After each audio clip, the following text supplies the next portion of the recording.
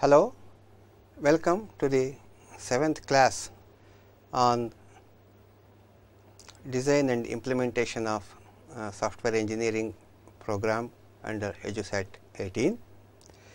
In this class, we are going to discuss about the implementation aspects of the software. Until now, we have discussed about modeling, design, mapping the modeling into the design aspects and then we have seen rational unified process and how to implement that into our design aspect and then once the design is completed we are going to move into the implementation. I am Srinivasan from RV College of Engineering. This is the seventh class. Today we are going to talk about implementation issues and open source development. Design and implementation. Implementation includes two aspects. One is implementing the design that means building the system and the second one is deploying the system that means moving the system into operational area and making it operational. These two are different phases of implementation and as we have seen in rational unified uh, process, we have the following uh, phases business modeling, uh, requirements, design, implementation, testing, deployment, configuration and change, management, project management and environment. And now having completed the modeling and the design, we have come to the implementation stage where maximum time is spent in the construction basically. So, construction as well as transition. So, when we come to transition it comes to into the deployment aspect where we will be spending most of the time and in the construction is the implementation phase as per our rational unified process and in each of them we have inception, elaboration, construction and uh, transition. We will see now how actually we have to progress with the implementation. The constructing the program after design basically involves the programming standards, the language being used and uh, the environment, development environment and the sequence in which they have to be programmed and all that, which is actually a process which you have already learnt in the programming languages, data structures and then uh, algorithms etc. So, we are not going to cover those aspects here. Now, having completed the application or having built the application, uh, the next step is about the testing the application as we move as we go forward with the building of the application which is having unit test and uh, integration test uh, etc., which has been covered uh, by earlier classes. So, we are not going to cover those aspects here. So, we are going to uh, actually the deployment phase. So, anyway the implementation process itself consists of either acquisition or development of the software, testing, documentation has to run in parallel, versioning of the software, we will see what is the meaning of versioning of the software, data porting and conversion. When we go to the deployment, we have to port the existing data and convert if there is any application running on the previous version or previous uh, uh, platform etc and then deployment of the system itself our system current system what has been developed or acquired training the people who have to operate or maintain the system.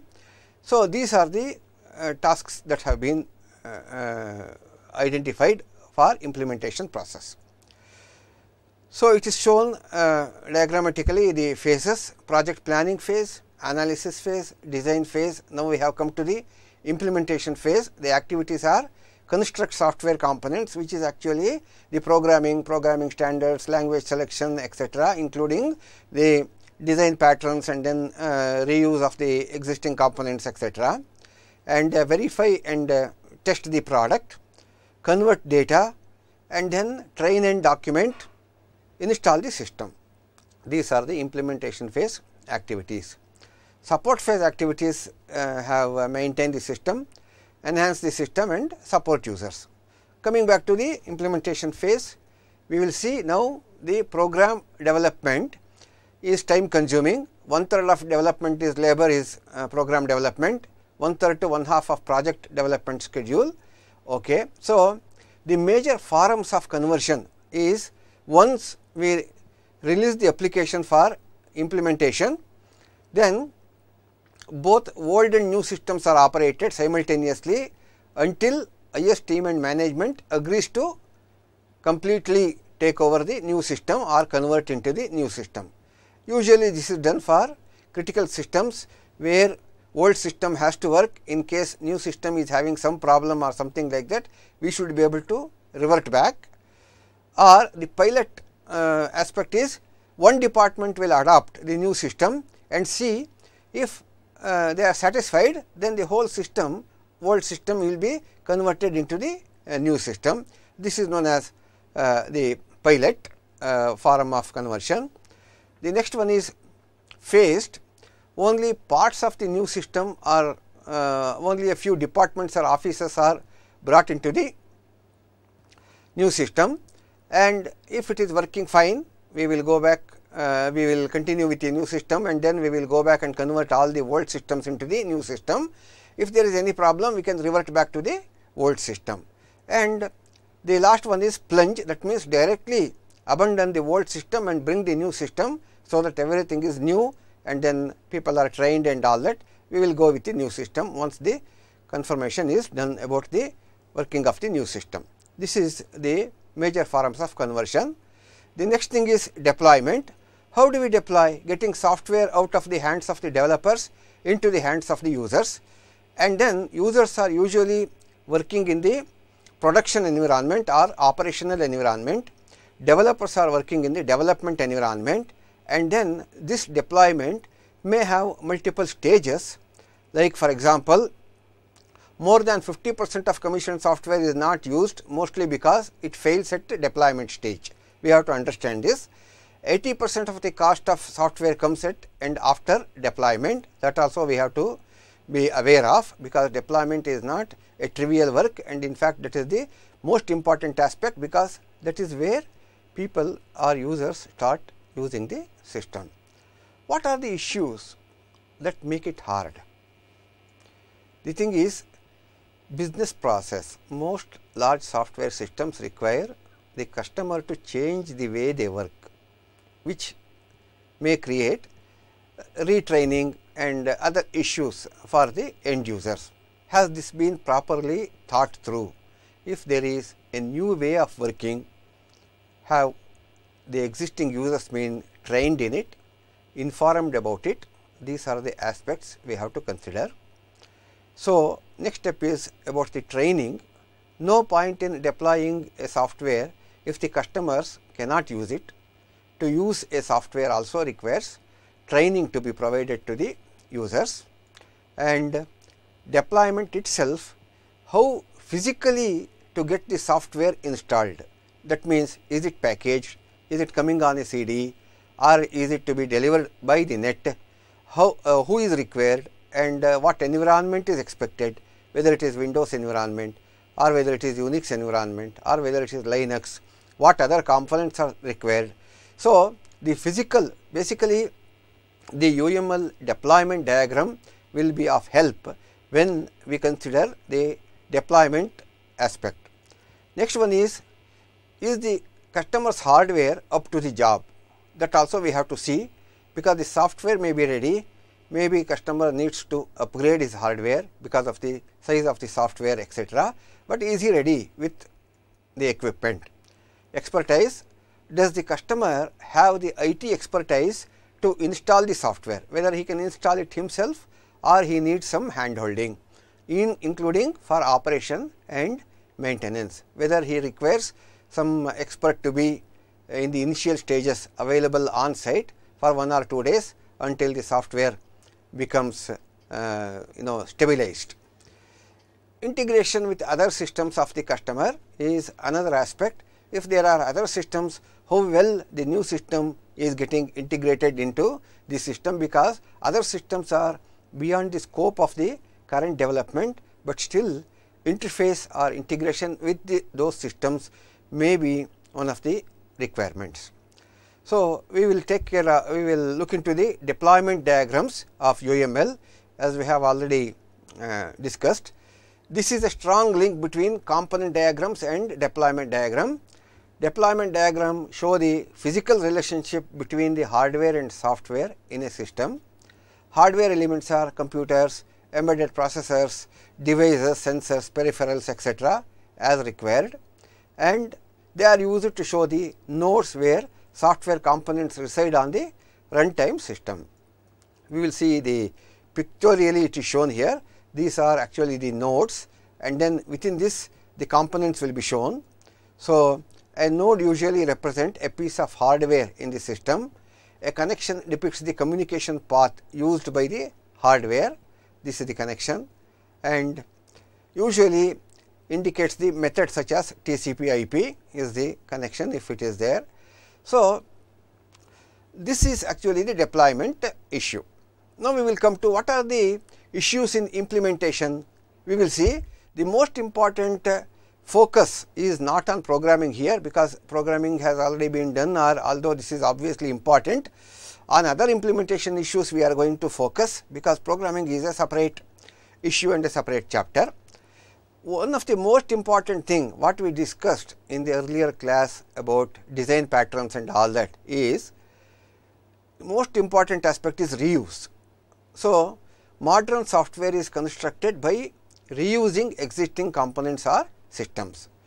And when we are developing software, we should make as much reuse as possible, because our earlier experience and earlier collection of components and our earlier knowledge effort should not go waste and then we should not reinvent the wheel.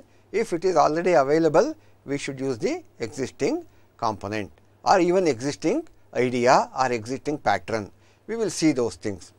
The second point is configuration management and during development process, we have to keep track of many different versions of each software and in a configuration management system, it keeps track of what are the versions and uh, the releases of these components or the systems that are required uh, to be integrated into the system.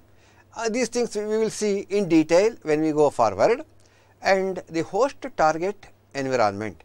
That means, the idea is the products or the software application is developed in a development environment and then when we are porting it to operational or production environment, we have to be aware that this transition takes place smooth and then there is no disturbance in the production or operational environment.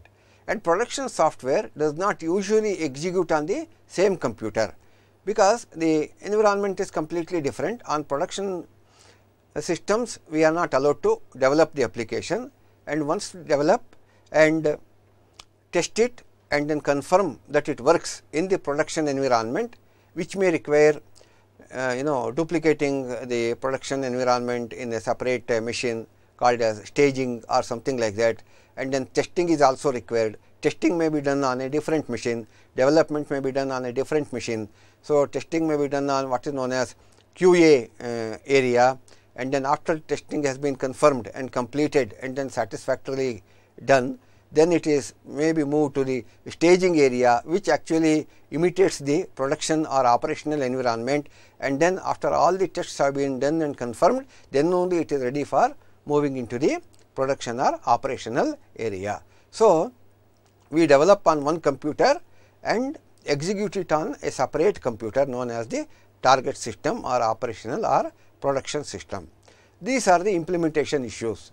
What are the reuse implementation issues we will see until uh, 1990s or even uh, into the beyond most new software was developed from uh, scratch by writing all code in a high level programming language. But later on with the development of the ideas of object oriented development and object oriented uh, analysis and the development of the languages supporting uh, these object oriented concepts including uh, Java, C++, Simula etc. Now, we are able to reuse the components or component based software engineering we are able to uh, deploy or we are able to implement. So, that our efforts or the components are kept as uh, in a library. So, that uh, the functionalities can be reused uh, provided uh, with the object oriented concepts of uh, uh, providing interface for the system and all that message oriented co component integration etc.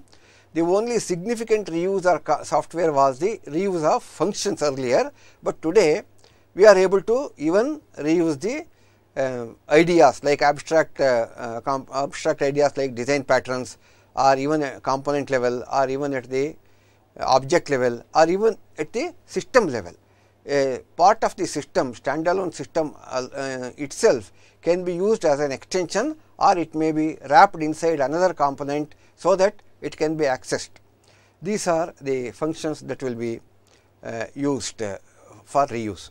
An approach to development based around the reuse of existing software emerged and is now generally used for business and scientific software. Today, no non-trivial uh, software is started from scratch.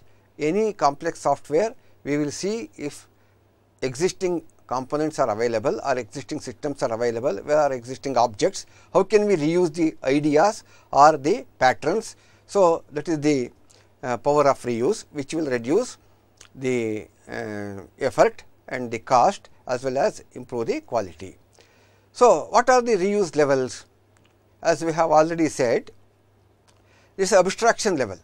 At this level, software is not reused per se directly, but the knowledge of successful abstractions in the design of software is used like design patterns etc. Or the second one is at the object level. At this level, software objects are directly reused from a library rather than writing the code afresh. At component level, a component is nothing but a collection of objects which is specifically made into certain uh, meet, uh, meet certain functionalities so, the components are collection of objects and object classes that are reused in application systems as the need may be and the final one is system level at this level entire application systems are reused. So, there are four reuse levels where we can make use of. And now, we have to consider whether always we should use uh, reuse concept or is there any downside to it or what are the benefits etc. And for reuse, we must have uh, a good plan and a, and a mature uh, system of management of software. So, that we keep track of what are our assets, what we have provided uh, developed earlier and uh, we have easy access to that. If we have to search for it again and again, then the cost of searching may be quite high. The cost of the time spent in looking for software to reuse and assessing whether or not it meets your needs are may be high, because even when we identify a component commonly used component which is available off the shelf and it may be a commercial component and we may have to buy it. Even if we purchase it or buy it, we have to test that software because it is not made by us. And then when we have when we are testing, we it consumes a considerable time and effort and cost, whether it is worthwhile doing it or whether it is worthwhile building it from scratch. These are the issues that is to be considered. Where applicable, the cost of buying the reusable software we have to look into. For large off the shelf systems, this cost can be very high that also we have to be aware. And if it is a specialized system, then the cost may be very high. It may be worthwhile uh, to build it ourselves and then keep it uh, with us as our uh, property for next use the cost of adapting and configuring the reusable software components or systems to reflect the requirements of the system that are being developed. So, that also we have to consider that means the components that are available may not be 100 percent suitable, it may be suitable only 70 percent. What is the cost of making it 100 percent suitable? That means, we have to tweak or we have to repair the existing off the shelf software or commercial software what we are going to buy and then this kind of modification whether it is worthwhile doing it, what is the cost of it that also we have to consider and the cost of integrating reusable software elements with each other. Suppose we procure two different components from two different vendors, is it possible? What is the effort involved in making it work interactively? Or how to make it integrate them together so that it meets our purpose? And what is the cost involved in it. So, these are the aspects that we have to consider. And now we will come to the configuration management. The configuration management is the name given to the general process of managing a changing software system. Basically, configuration management is uh, different components are developed at different times and by different uh, programmers. And these components they undergo continuous change. And continuous change may be of two types. One may be for enhancement or defect uh, uh, removal or bug removal. The other one may be some people ask for some uh, facilities and uh, other customers uh, they ask for other facilities. The same base component we, we may have to uh, configure it in such a way it uh, one version meets the requirement of one set of customers, another version meets the requirement of another set of customers. But in that case we have to maintain two different versions of the software so that whoever is asking for whatever version this 2 is simply a number. If there are many number of customers asking for a specialized or customized software and then the base functionality is same, then we may have to have the software vendor or the maker has to maintain several versions of the software to keep track of which version is working where one point. The second point is continuous improvement also will take place and then whenever new release comes whether these new releases are given to the people free of cost or it is given at a cost, both we have to maintain because we have to see to it even the old release will require maintenance by the vendor. So, that means we should be able to keep track of what release is working where and then the details of every release. So, even though they are small changes, we have to keep track of these changes change management is one of the most important aspect. It is required for supporting the old version, it is required for knowing the new version, it is required for moving from old version to new version, it is required for any changes, bug removal and all those things. Basically, the idea is to make the component as a unit uh, self sufficient, but having a clear cut identity even with a small change. The aim of configuration management is to support the system integration process, so that all the developers can access the project code and documents in a controlled way. Documents means whenever the software changes or functionality changes, some code is changed, we have to upgrade the document. That means, for old version one set of document will be there, for new version another set of document will be there. So, that means documents also will go with the version of the software. What is the difference between this version and release? That is the question. So, the version is if there is any major change done to the system, the version is changed. And for a given version, if there is a small changes that are done, then then they are giving uh, they are given as a new release. Like for example, version number and release number. So, like for example, we are seeing in uh, open source uh, um, Linux systems LTS means long term uh, uh, release or long term support is provided. So, and uh, other things are the, when it is actually not ready for long term support that means is not stable then the intermediate releases are given and then uh, those releases uh, they allow people to use it and then come out with uh, if they find any uh, problem or any bug or any defect or something like that or even desirable things like enhancements and uh, wish th wishful uh, th things like I wish that this is able to integrate with other systems and things like that. Those things are collected and then made it into a stable system and then a long term release is um, given.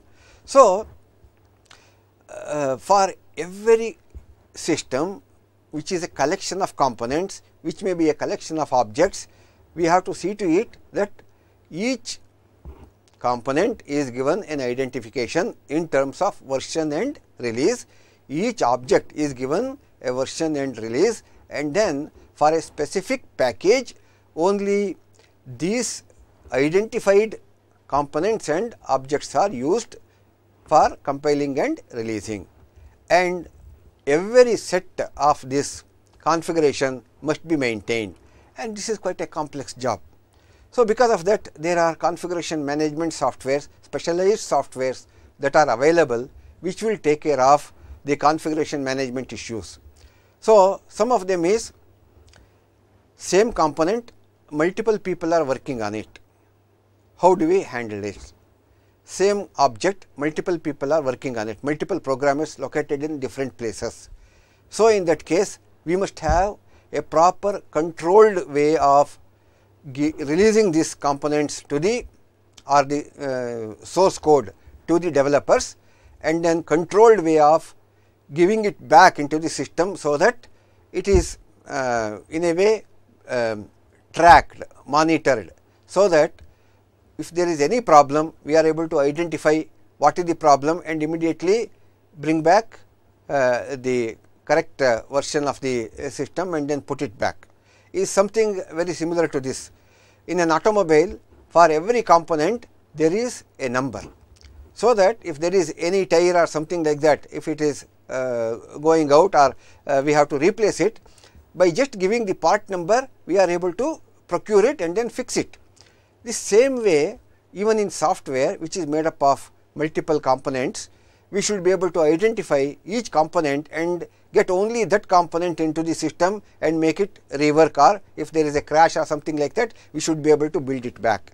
These are the aspects of um, configuration management. So, it consists of as we have already said version management where support is provided to keep track of the different versions of software components version management systems include facilities to coordinate development by several programmers and system integration where support is provided to help developers define what versions of components are used to create each version of a system.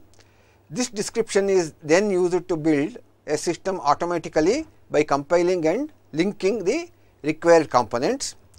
Problem tracking when support is provided to allow users to report bugs and other problems and to allow all developers to see who is working on these problems and when they are fixed.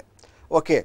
The third uh, aspect is when a component is modified to meet certain functionality as required and then the version is given, this detail must be available somewhere.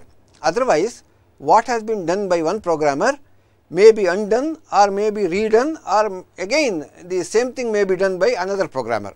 So, the programmers or the developers must be knowing what are the versions that are available, what versions are providing what functionalities. Then it is easy to integrate or build system or even use uh, reuse the uh, component because unless we know the functionality of the component it is not possible to reuse and unless we are able to make changes to the component, we will not be able to reuse and when we make changes to component unless we track those changes through version number and release uh, number, we will not be able to or the developers will not be able to reuse the uh, components or reuse the available uh, systems. So, configuration management is actually a complex task where each for each and every uh, product as well as for artifact, artifact means uh, documents etc. A version number is given which is maintained which is linked together so that a product with this version is related to a document with this version. so that if there is any change the document changes are also reflected and then they are linked together and then if there is any change done to the component or the product itself then the old uh, version is also kept the new version is also kept, but uh, identifiably uh, the system should be able to take care of it and then if a system is built using different components then the version of all the components and the version of the system should be maintained and then automatically these things should be done by configuration management activity. So, that if there is any problem in maintenance or if there is any problem in deployment immediately we will be able to see which component is exactly the reason for it and then go back or correct it or bring it back. So, that is the uh, functioning of configuration management activity.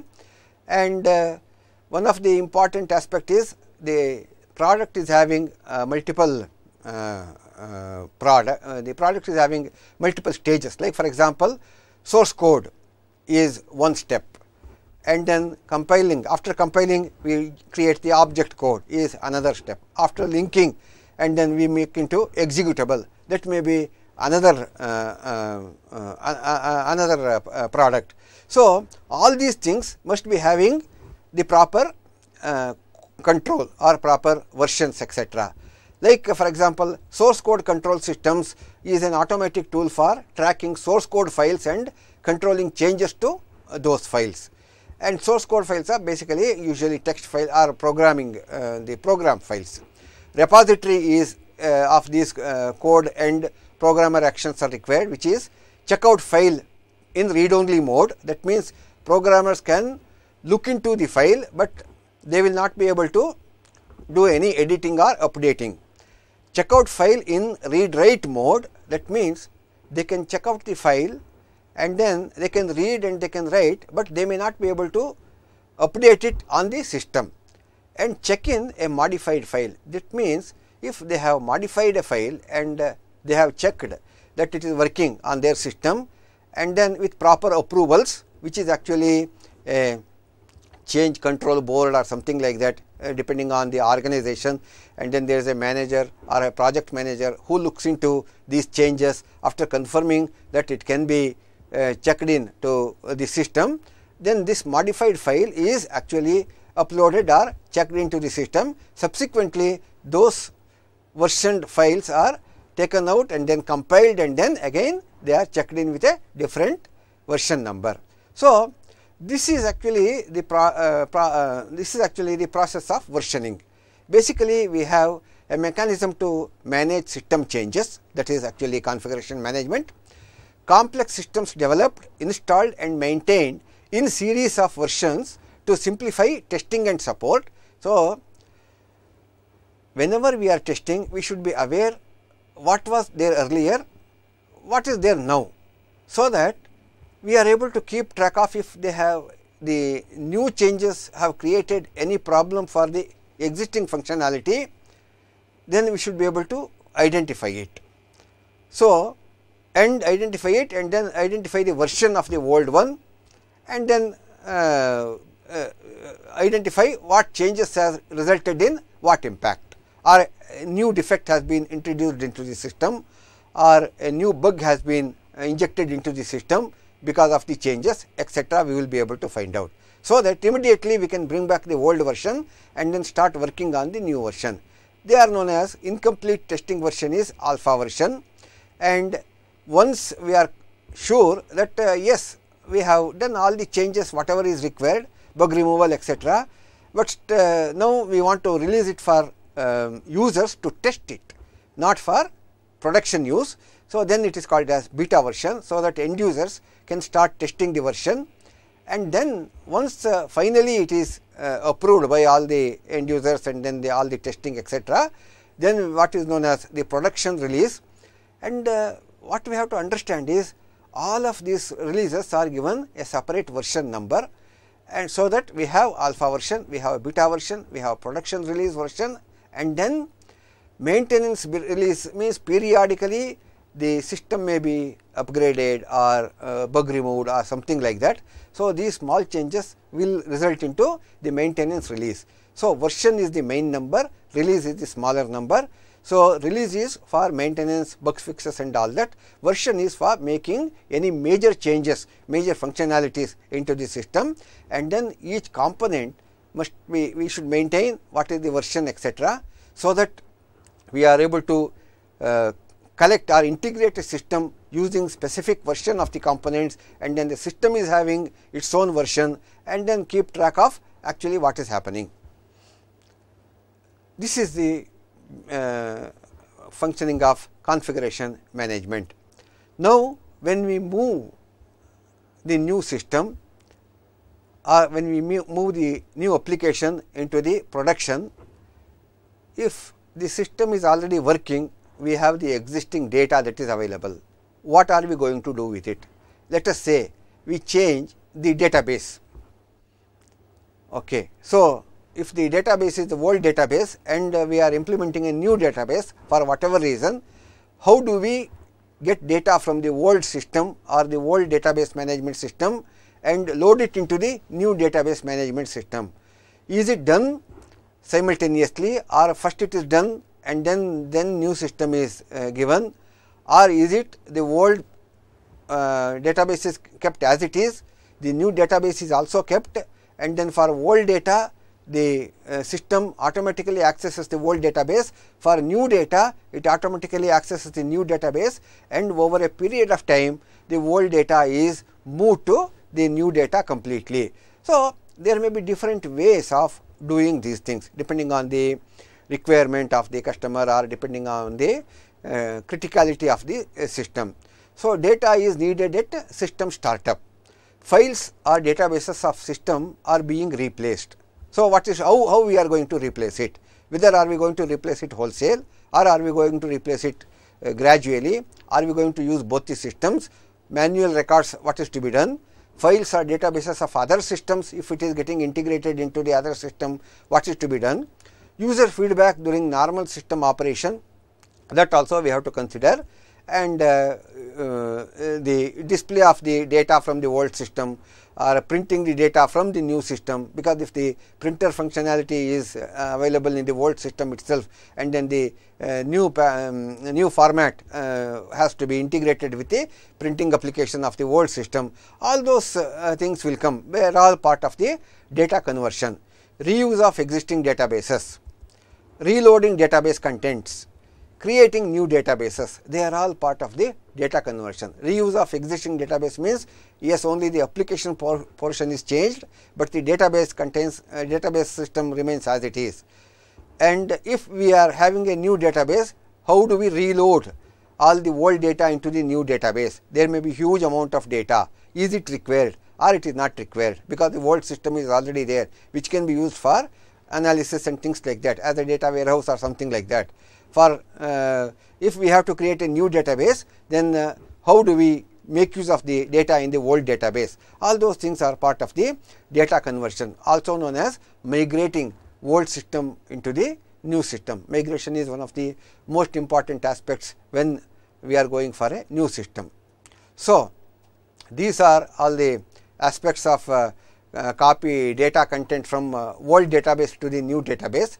That is create new database and then a new database is there and then here from old database we copy and convert data and then put it into the new database. The other one is upload, modify and reload existing database. So, we use the existing database itself, but into in a new format basically modify database structure and then uh, data new uh, database is created extract and delete the data temporary data store is there convert and reload data and then create a uh, uh, new data structure in the same database. So, two uh, types are shown here there could be any number of solutions depending on the uh, requirement and uh, the ideas that are available at that point of time and the infrastructure and the setup basically existing as well as the new. Considering these factors the uh, release manager or the implementation uh, manager has to take care of uh, the system. Now, after identifying all these things next comes the installation. After development and testing system must be put into operation. So, this is known as installation. Important planning considerations are cost of operating both systems in parallel, detecting and correcting errors in new system, potentially disrupting the company and IS operations, training personnel and customers with new procedures. Basically, we have discussed uh, these things already that is when we are going for the new operations then there may be disruption. We have to minimize the disruption or we have to see to it that there is no disruption. Detecting and correcting errors in the new system. If the old system is already working, new system uh, should be having even better performance or it should be better. If it is having any error, should be detected uh, in time and then corrected and put it. Whether both the systems should be working in parallel that also we have seen in the earlier uh, uh data migration uh, case and training personnel and customers with the new procedures that is required. So, that customers and uh, end users will be happy to use the new system otherwise the system will become useless or may not be used. So, there are different types uh, direct installation, overlapping systems turn off, both systems concur for brief time that means they will be working simultaneously new and old system and if there is any problem is coming in the new system it will be corrected and once this once it stabilizes uh, the old system can be slowly taken off the line. So, advantages simplicity and fewer logistic issues to manage disadvantages risk due to uh, no backup if uh, the direct installation is done. Okay. So, parallel installation of old and new systems operated together for extended period of time. There are advantages. Of course uh, the system failure and continual backup is there. Low system uh, low risk. But disadvantages cost is high. Acquiring extra space because we, we, to need uh, to maintain old and new system we need huge uh, disk space etc increasing managerial and logistical complexity etc phased installation is another one new systems are installed in series of steps or phases as we have already seen in the earlier case whether it is uh, uh, phased uh, or whether it is over uh, um, uh, big bang or something like that. Okay. So Documentation is another aspect where all the documentation must be up to date, new set of document must be available both electronic as well as print, online manuals etc. So, that is another aspect to be taken during implementation that is the system documentation and all. User documentation is also one of the important aspects of uh, the new release and ongoing training and user support uh, we have to provide online documentation and troubleshooting resident experts help desk technical support etc and then we will see into the they are the aspects of host to target development. Most software is developed on one computer, but runs on separate machine as I have already said about the um, staging area and testing area and development area or development environment, staging environment, testing environment and operational environment. They are all different machines, different environments, different systems. When it is moved from one stage to another stage, it should be uh, seamless and then it should work correctly at every stage we have to test it especially for critical software and then mission critical software and then we have to make sure that once it moves into the um, staging area unless everything is perfect we should not move it into the uh, operational area. So, that is the uh, some tools are used uh, in this uh, graphical editing tools, uh, language debugging system, they are all required for development platform tools like Eclipse and all those things and they are all part of uh, the helps in the implementation also moving the system from development area into the operational area etc. So, we have integrated development environments like uh, Eclipse uh, uh, etc. and then development area environments. Now, Component and system deployment factors are if a component is designed for a specific hardware architecture or relies on some other software system, it must obviously be deployed on a platform that provides the required hardware and suppose some component may require a runtime system for example, VB run or VB uh, eh, etc. and uh, Java virtual machine for example. So, they are all uh, there is a dependencies for components and then we have to understand those things and then deploy the component system with the proper existing or required system implemented. And we will see in the final this one the open source development having done this development ourselves and all that and then when we are talking about uh, reuse we have to consider the fact that open source development is an approach to software development in which the source code of a software system is published and volunteers are invited to participate in the development process. The idea is the open source development is a movement basically which says that the source code is not proprietary to anyone, it can be published so that people who have access to it, they will be able to make modifications and uh, because lot of people are working on it, the idea is in the end we will get always a better system. Its roots are in the Free Software Foundation fsf.org which advocates that source code should not be proprietary, but rather should always be available for users to examine and modify as they wish. Open source software extended this idea by using the internet to recruit a much larger population of volunteer developers. Many of them are also users of the code. Basically, it, it does not mean that it is out of control. It is controlled, but only thing is there is no ownership here. However, there are the controls are even if there is ownership there are different types of licenses that are available. So, that it will not go uh, out of control. The idea is if we have companies if they adopt open source then uh, there may be any number of uh, maintenance people that are available. In proprietary software what happens we are uh, the companies are bound to organizations are bound to have maintenance uh, agreement only with the people who are actually owning those product. In this case because it is open source there may be lot of uh, organizations available which are ready to maintain because the code is available in the uh, in the open basically it is available free. The best known open source product is of course Linux operating system which is widely used as a server system and increasingly as a desktop environment.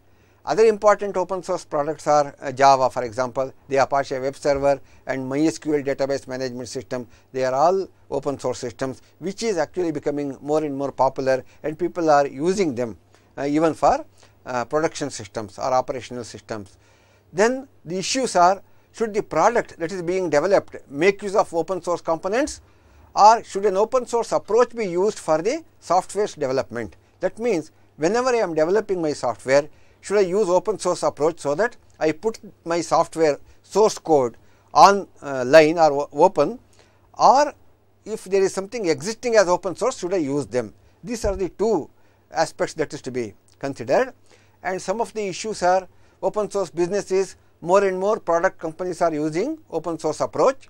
Their business model is not reliant on selling a software product, but selling support for the uh, product. As I have already said because it is open source and lot of people are working on it supporting support is an issue and they believe that involving the open source community will allow software to be developed more cheaply more quickly and will create community of users for the software. If we know that the components are available, most of the components or even some of the components in the open source, we can take them, use them, integrate them with our application and there are certain rules and regulations to uh, to control it. We will see those things uh, in the coming slide, but basically it is possible so that it becomes easier to develop new software cheaper and faster. So, open source licensing these are the three types of license that is basically uh, uh, the legally the developer of the code is uh, either a company or an individual still owns the code that is the uh, bottom line. They can place restrictions on how it is used by including legally binding conditions in an open source software license. That means, they can if anybody wants they can use the code but uh, they may not uh, make modifications for it for example. Some open source developers believe that if an open source component is used to develop a new system, then that system should also be open source. That means, if I am using the open source component and if I develop it, I cannot claim proprietary uh, ownership of that because I have developed using open source. So, my final product should also be open source that is one of the conditions. Others are willing to allow their code to be used without this restriction that is uh, another BSD licensing or something like that. The developed systems may be proprietary and sold as closed source systems. This is uh, another reason. So, there could be different uh, license types and restrictions and things like that. But uh, basically open source uh, is becoming popular and uh, for a normal person he can use those products uh, easily and then you know uh, versions are available lot of people are working on it. So, it depends on the need and the willingness of people to use open source. So, the license models are the GNU general public license which is known as GPL. This is so called reciprocal license that means if you use open source software that is licensed under GPL license then you must make that software open source. That is the first one what we discussed. The second one is lesser general public license that is LGPL is a variant where you can write components that link to open source code without having to publish the source of your components. Okay. And the third one is as we discussed like uh, Berkeley BSD license. This is a non-reciprocal license that means which you are not obliged to republish any changes or modifications made to open source code. You can include the code in proprietary systems that are sold. Okay. So, these are the license management issues that is establish a system for maintaining information about open source components that are downloaded and used. This is also very important because once we download it and use it, we have to keep track of it so that again we will not reinvent the search and other operations. Be aware of the different types of licenses and understand how a component is licensed before it is used. It is very important otherwise there could be legal issues. Be aware of evolution pathways for components educate people especially developers about open source availability and the rules and regulations, legal aspects etc. have auditing systems in place. So, that we know that what uh, products we are using, what open source products we are using and with what conditions they will come to us and are we legally compliant with those conditions and participate is one of the very important things especially for students and developers in open source community. So, that uh, you come to know about uh, so many developments that is happening and then uh, you know networking and then increasing the uh, skill level and all those things. So, be active in open source community that is one of the important aspects. So, winding up the key points uh, Uh, what we have considered for uh, this session is uh, when developing software we should always consider the possibility of reusing the existing software either as components or services or complete systems and configuration management is the process of managing changes to an evolving software system. It is essential when a team of people are cooperating to develop software. The third point is most software development is host target development that means operational and development area uh, development you use an IDE on a host machine to develop the software which is transferred to the operational machine or the target machine for execution. Open source development involves making the source code of the system publicly available. This means that many people can propose changes and improvements to the software. So, this completes our Uh, module. Thank you.